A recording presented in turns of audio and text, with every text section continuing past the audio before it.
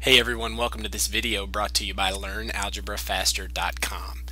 In today's video we're going to cover the definition of mean. Now, I'm not talking about a little brother or little sister mean. I'm talking about the arithmetic, the average, the mean.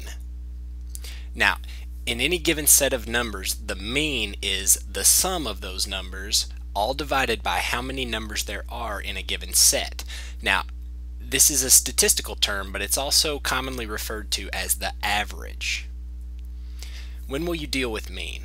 Well, you can deal with mean anytime you have a set or a group of numbers.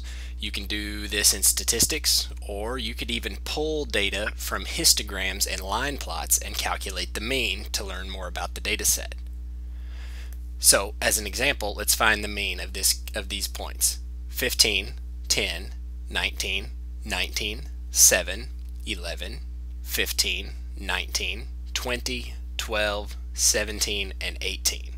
Now, unlike the mode, you can't just look at the data set and find the mean. And unlike the median, you don't have to put these in order. So we can take the numbers just as they are. The problem is we're going to have to do some calculation to find the mean.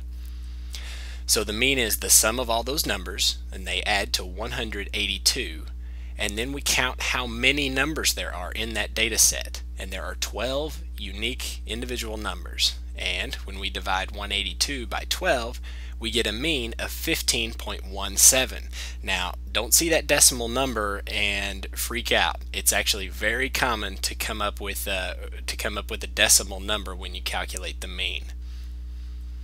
In review the mean of a data set is just the average of the numbers in that set Thanks and I'll catch you in the next video.